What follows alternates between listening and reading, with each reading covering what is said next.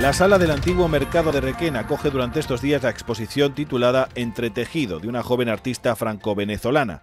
Ella es Charlotte Bracho y es la ganadora de la beca Pedro Marco, en la que también participa el ayuntamiento de la localidad junto al propio Pedro Marco y la Escuela de Artes Plásticas de Requena y la Facultad de Bellas Artes de la Universidad Politécnica de Valencia.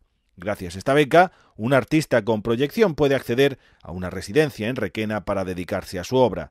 Se trata de una colección de obras que giran en torno al casco antiguo de la villa y los telares que hace años se podían localizar allí, fruto de la estancia del artista en la localidad, gracias a esta beca, a la beca Pedro Marco. Primero me, basé en la historia tejedora de Requena, eh, y fue lo que yo estuve investigando, la historia de la seda, y me basé en eso para resaltar la, bueno, la delicadeza del mundo tejedor y entonces hacer unos dibujos que resaltan esa idea y transmitirlo en, una instalación también, que van resaltando, digamos, esas capas de historia, esa capa de memoria, pero algo que, esos rastros de seda, pero que siguen aquí en Requena y, y que me parecían maravillosos como algo de resaltar. Entonces hay una serie de dibujos y una instalación en la que uno puede eh, pasear y divertirse, bueno,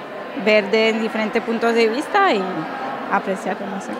Eh, yo pasé mucho tiempo en la Casa de la Seda justamente y, solo viendo un poquito del pasado, eso me, encanta saber que hubo 800 telares. Eso quiere decir que a un momento dado aquí había muchos tejedores que sabían tejer y me parece fantástico que hay esto en la memoria de Erquena. Me parece una cosa estupenda. yo creo que es lo que me, encanta aquí de Requena. Y que la gente, yo les digo, estoy haciendo ese, esa exposición, investigando, me dice, ah, yo bordo, yo hago ganchillo, yo, mira, yo hago eso y hago los, los de las faldas, bordo las faldas. Me encanta, me encanta la gente como, como también comparte eso. La muestra de Charlotte Bracho podrá verse en la sala del antiguo mercado hasta el próximo 31 de marzo.